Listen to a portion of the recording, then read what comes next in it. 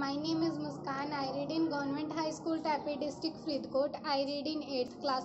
Today I am speaking on topic, uh, topic operating system of computer uh, science subject. First of all, discuss the history of operating system. The first operating system were devel- developed in 1950 when computer could only run on pro- uh, program at a time. Later in the following decades computer began to include more software program sometimes called library that uh, that came together to create the st- uh, start of today's operating system.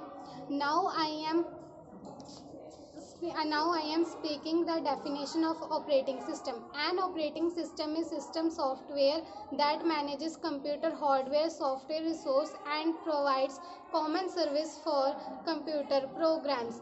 Examples of operating system Linux, Unix, Windows 7, Win- uh, DOS, Windows 2000, Windows XP, uh, Windows uh, 10, etc.